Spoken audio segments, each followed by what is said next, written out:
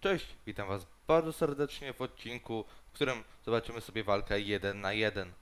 Walka ta odbyła się podczas turnieju Steel Series e, 1 na 1 e, 3. E, Był to trzeci, właśnie trzeci camp e, Steel Series. Została jeszcze czwarta część, która odbędzie się w środę.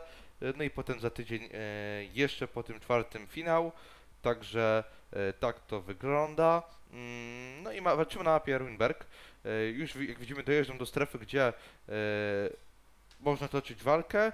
E, Już właśnie się w niej znajduje. No i tutaj e, także warto zaznaczyć IS-3. IS-3 wali e, bardzo mocno, ale ma bardzo wolne przeładowanie, dlatego e, jakże ważne jest, aby dojechać do niego po prostu i zacząć z nim nawiązywać walkę na bliskim dystansie, kiedy on nie wykorzysta z przeładowania swojego swojego damage'a na strzał tak bardzo, bo po prostu ja z niczego przeładowań e, i też i także ramowaniem. Tutaj jak widziałem, jak widzimy strzeliłem raz e, z damage'em, on strzelił do mnie z damage'em no i tutaj myśli, że podjedzie sobie do mnie i będzie szczęśliwy.